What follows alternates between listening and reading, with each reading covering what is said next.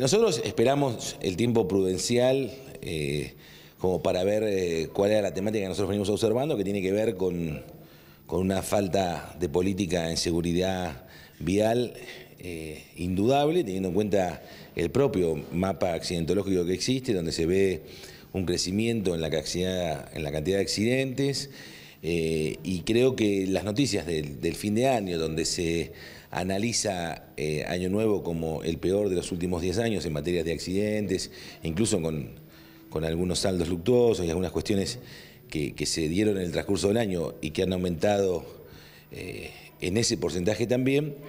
Y sobre todo eh, la decisión del Departamento Ejecutivo de efectuar casi 400 controles menos en cantidad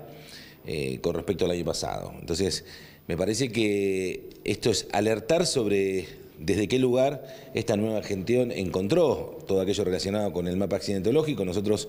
eh, durante la gestión del doctor Bevilacqua eh, generamos un mecanismo de políticas en seguridad vial donde la tendencia eh, en porcentajes a la baja se dieron durante tres años consecutivos en donde no solamente se producían menos accidentes, menos heridos, un eh, enorme ahorro también en lo que gastan todos los vecinos de la ciudad eh, en el hospital municipal, eh, pero sobre todas las cosas en prevenir la cantidad de accidentes. Entonces, me parece que esta es una cuestión decididamente de cambio de política que entendemos que se puede mejorar, eh, pero para eso la decisión del Departamento de Ejecutivo tiene que estar en seguir profundizando el programa que existía al momento de la gestión,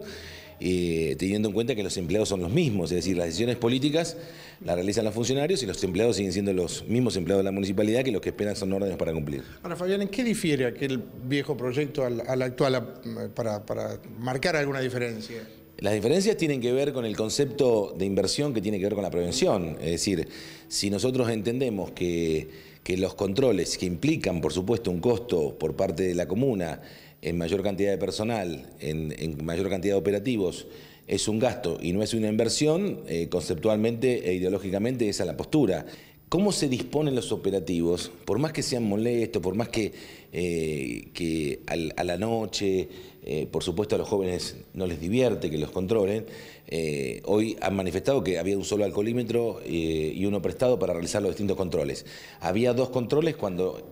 años anteriores se realizaban cuatro o cinco en toda la ciudad.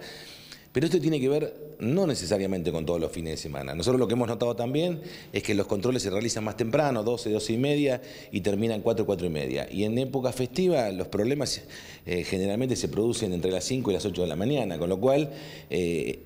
administrar los recursos económicamente como para saber eh, desde cuándo tienen que comenzar los controles también se puede hacer.